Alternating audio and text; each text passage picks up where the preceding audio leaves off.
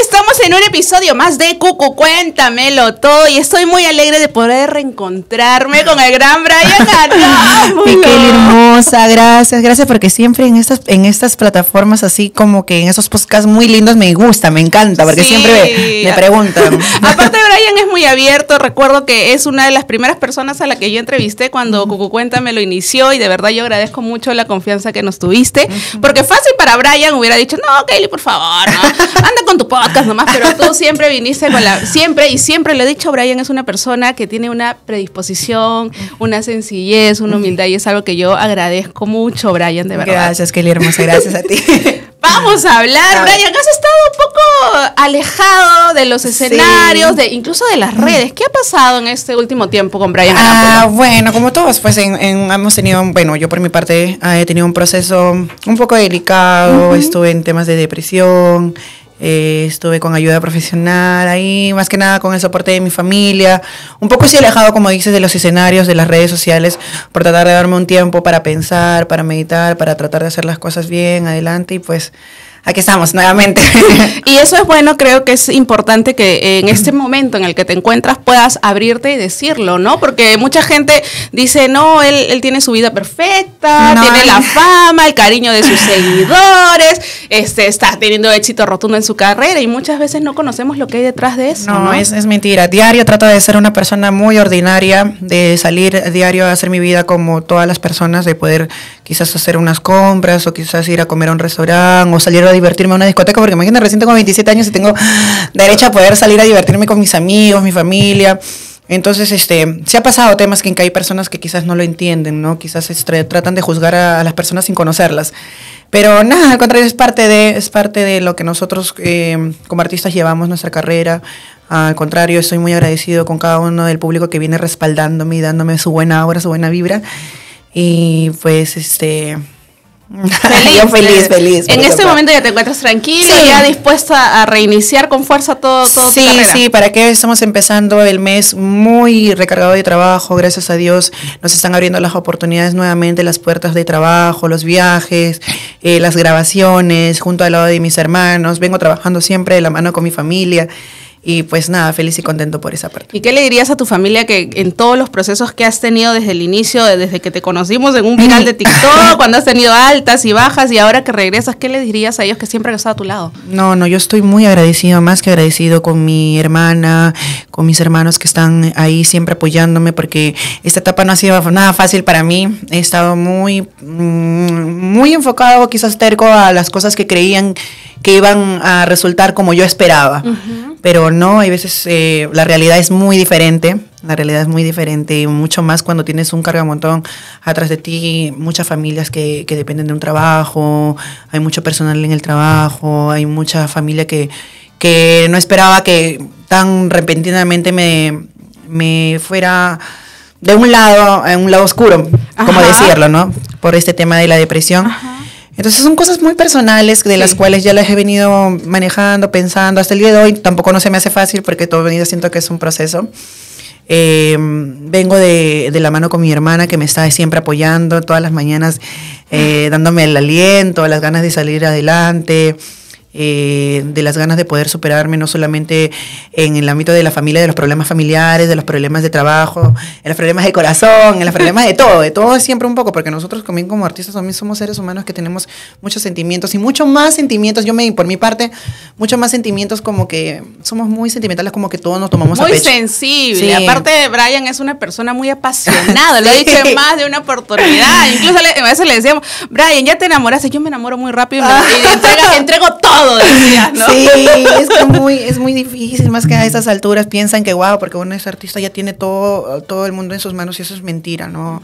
Hay veces nosotros no somos como los que piensan el resto. ¿Y cómo está tu corazón ahorita? ¿Has decidido dar una pausa? ¿Estás así o estás conociendo? No, sé, pues, ahorita lo he dicho que prefiero estar soltero. Exacto. Prefiero por ahora eh, soltero, eh, llevar mi, mi vida muy clara ahorita, enfocada más en lo que vengo haciendo no quiero una relación estable porque ya no, ya me he curado, me he sanado. y nada, pues aquí vamos, este, eh, siguiendo adelante. Vengo soñando mucho con mi padre que partió en la, al cielo.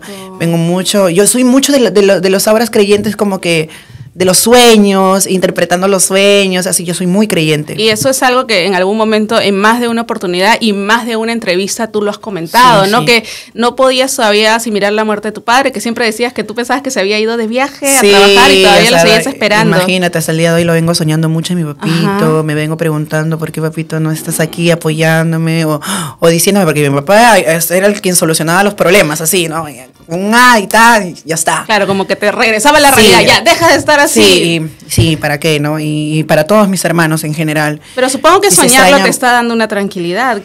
Hay momentos en que son sueños como que muy cargados que me hacen sentir muy sentimental, porque a veces me explico qué es lo que me trata de decir, y a veces me pongo a llorar, me levanto en las mañanas, porque a veces cuando te agarra ese tema de la depresión, no te suelta. Yo, yo, lo digo por experiencia porque ah, me tiraba a llorar, me tiraba a la cama y a veces todo un día tirado en la cama es terrible. Claro, yo, porque a veces la gente dice, no, pero es que si tiene todo, ¿por qué se está estresando? Porque claro, los que tenemos conocemos a alguien o tenemos a alguien cercano que sufre de depresión, es, es importante que la gente sepa que eh, a veces no sabemos incluso cómo ayudarlos, porque están ahí y simplemente no se quieren parar de la cama y tú dices, pero mm. párate, sale el sol. No es fácil. No, quieres. No es fácil. Quieres estar tirado, encerrado en tu cama. No, no es fácil. Hay veces personas que dicen, no, no, pero tú tienes que salir adelante, tú puedes. ¿Dónde está tu autoestima? ¿Dónde está el amarte a ti mismo? Pero no, no es fácil. Eh, tú lo puedes decir porque de la boca para afuera es, pero no lo vives, pues. Exacto. Yo como experiencia, pues he pasado muchas cosas, muchas etapas. No solamente eh, en el amor,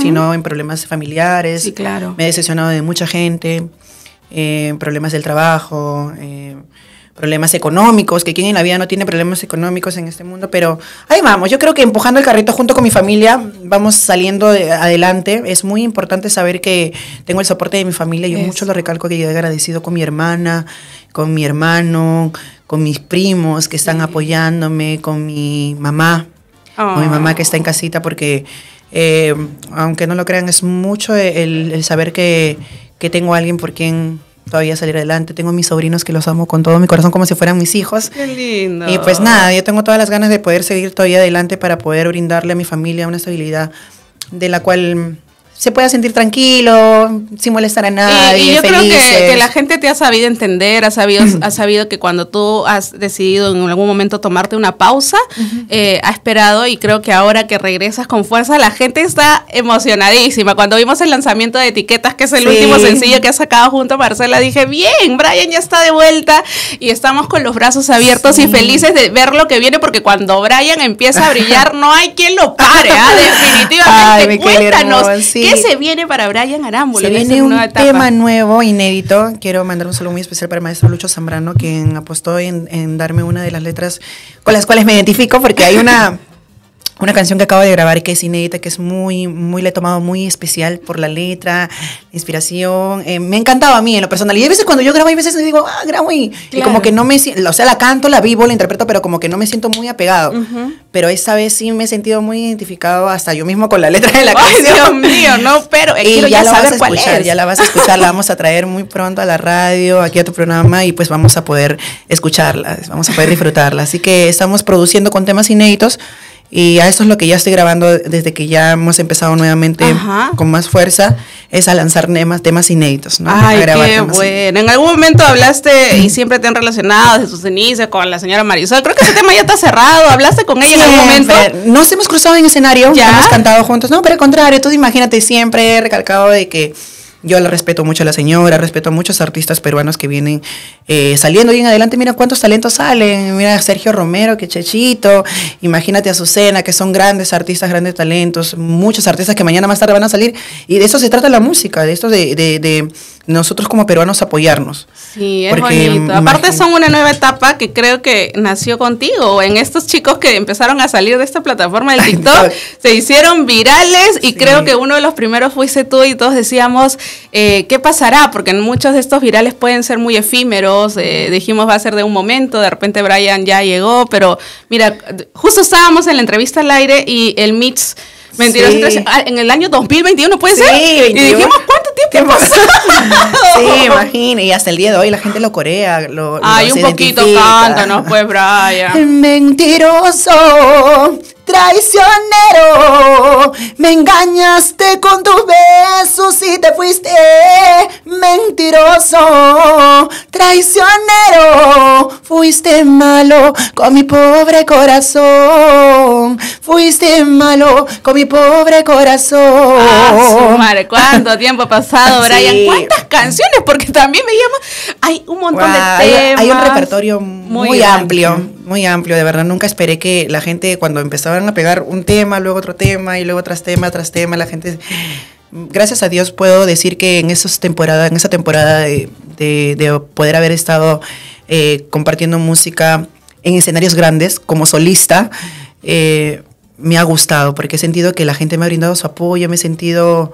muy, muy apegado a un público inmenso y me he venido mucho a compartir muchos escenarios junto a la Radio Nueva Cuba en sus aniversarios y para mí era, wow, una emoción. Nunca, voy a agradecer a Dios toda la vida por haberme dado ese regalo de poder sentir esa adrenalina, porque estar en el escenario frente a un multitudinario público no es fácil. No es fácil. Y yo me sentía como, wow, es impresionante esa adrenalina y esa energía que el público te contagia para, para tú sentirte y creértela y dártela toda en el escenario sin, sin nada, pues es, es, impresionante. Además, la originalidad que tú tuviste, porque siempre he dicho que Brian marcó un antes y un después en los espectáculos y no solo por tu voz y tu estilo.